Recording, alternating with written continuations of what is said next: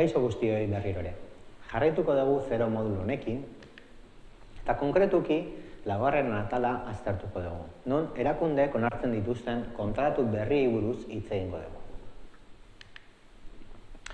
Erakundeek, beren jarduerak aurrera eraman ahal izateko, beharrezkotzat jotzen dute talde ezberdinekin erlazionatzen bi alderdien eskubide beharrak, eskubideak eta bete beharrak definitu behar dira, eta dagokien bermea ziurtatu ere. Hori dela eta normalean erlazio hauek kontratu batzuen bitartez eramaten dira. Enpresak erlazionatzen diren, erlazionatzen diren talde hauei, interes, da, interes dun taldeak deitzen dizkio. talde ezberdinak daude. Behen, agian garrantzitsuenak edo printzipalak onakoak dira.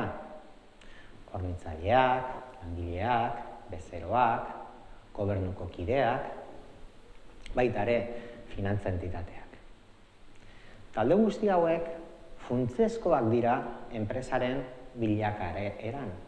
Eta normalean enpresa jarraitu nahi baldin badu bere jarduera horrela eramaten, beharrezkoa da erlazio hau garatzea. Honetaz gain, erakundeetan azken urteotan eman diren aldaketak direla medio, batez ere azkuntzaren arlotik, enpresa geroz eta handiagoak dira, batez ere enpresa taldean barruan barneratzen dira, beraien edapena herrialde ezberdinetan banatzen da, eta ondorioz enpresaren garapen honek ekarri izan duena izan da beste aktore batzuen sorrera. Edo bere beste interes talde batzuk.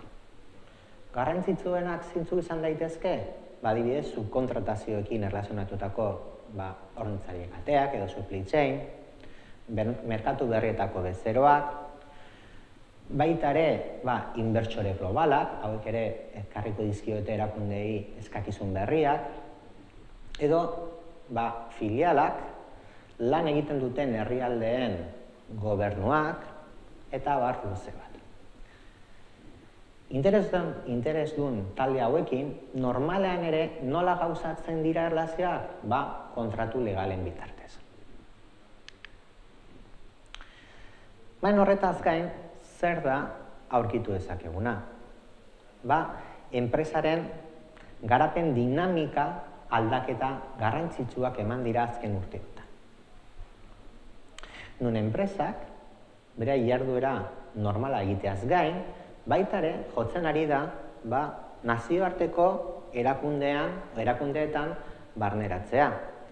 Edo baitare, ba, arlo ezberdinetan, inguru eroekin erlazionatuta, edo langileekin adibidez erlazionatuta, dauden iniziatibak batzuetara ba, apuntatu egiten da, parte hartzen du. Kasu honetan, ikusi dezakegu, ba, erlazio hau ez da gauzatzen kontratu legal batzuen bitartez. Baizik eta beste nolako kontratu batzuk dira. Adibidez, atxikidurak, hitzarpenak, edo erakundetan parte hartzea. Orain arte ikusi ditugun interesdun taldeak, beharrezkoak dira enpresaren iarduera aurrera eramateko.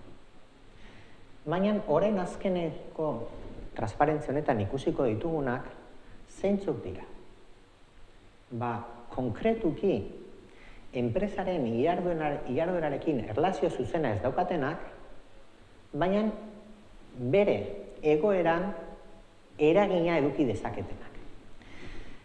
Adibidez, enpresak kutsadura egiten baldin badu bere filial batean, bazaki zein Afrikako herrialde konkretu batean, zer da gertatu daitekena?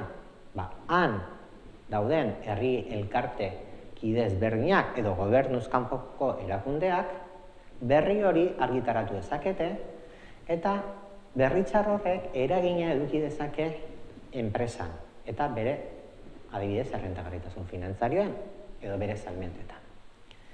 Beraz, badaude beste interes, interes talde batzuk, nun ez ditugun kontratu formalak, ez ditugu kontratu legalak, baina eragin dezakete enpresaren bilakaeran. Eta enpresa berak ere eragin dezake ba, erakunde hauen bizitzan eta bilakaeretan. Haiesi baiak utzatuz, edo langileak botaz, edo enpresak deslokalizatuz.